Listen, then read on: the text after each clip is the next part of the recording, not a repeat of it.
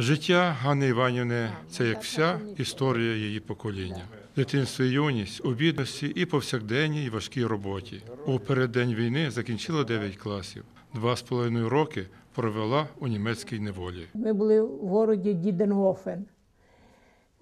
Робили на е, літейному, ой, як, на заводі. Да. Е, нас було 5 хлопців, а 10 дівчат з нашого села. Це нас було так. То хлопці робили е, у заводі, цьому літейному там виливали. А ми всі дівчата, ну там е, у нас лагер дуже великий, три тисячі. Три тисячі чоловік було. А ми робили на е, горі, це в- е, розгружали шлак. Сім тонн в вагоні. Розгрузила, значить 200 грам хліба вечором отримала. У травні 45-го невільники були визволені, і 9 червня Ганна Іванівна повернулася додому. А тут одна мама, брат ще з фронту не повернувся. Обісті ні корови, ні свині. Тож уже 11 червня пішла на роботу. Працювала на буряках, на жнивах, на різних колгоспних роботах, аби хоч щось заробити. Завжди і всюди була стараною, не шкодувала рук. Згодом її призначили обліковцем рільничої бригади, а взимку ферми. Через якийсь час доручили очолити птахоферму. Ми старалися дуже, і ферма наша стала передова в республіці.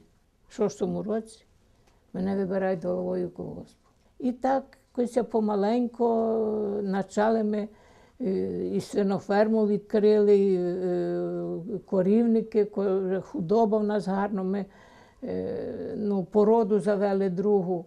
В Верховній Раді мені каже міністр сільського господарства, що ну, там говоримо, це ж не один рік, я ж кажу, скільки. Він каже: слухай, я знаю, що у тебе є гроші, там то і другое. Давай, каже, построїмо в тебе комплекс молочний.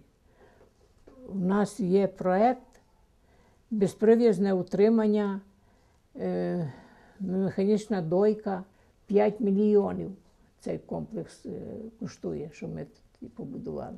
За роки роботи Ганни Іванівни головою колгоспу було побудовано багато інших господарських приміщень: контору колгоспу, просторий будинок культури, лазню та інші соціальні об'єкти для потреб сільських трудівників. Багатьом колгоспникам була надана відчутна допомога у спорудженні житла. Також була збудована мережа водопостачання, заасфальтовані сільські вулиці, а згодом за її ж безпосередньої участі проведена газифікація села. За високі досягнення у праці Гані Іванівні Абрамчук ще у 1966 році було присвоєно звання Героя соціалістичної праці. Вона також відзначена багатьма іншими державними нагородами. На даний час, е, звичайно, що вже такі поважні літа в Ганні Іванівні, вона не працює, вона на відпочинку. Але здоров'я вже, звичайно, не те. Але хочу сказати без перебільшення, що вона е, почуває себе добре і бодро, будемо так казати. Е, Завжди спілкується з нами, переймається всіма справами, е, які в селі проходять. От навіть хоче допомогти чимось. От вона переглядає прикладом пресу. Е, Щось вона прочитала, вона дзвонить до мене, радиться за мною, щось ми обговорюємо з нею. Цікавиться вона е, всіма проблемами. В експозиції сільського музею Гані Іванівні персонально і періоди її керівництва сільськогосподарським виробництвом у Купачівці відведено цілий відділ із кількох великих стендів. Їх матеріали розповідають відвідувачам про життя і працю старших поколінь односельців, закликають молодих дорожити традиціями і славою свого села, примножувати їх.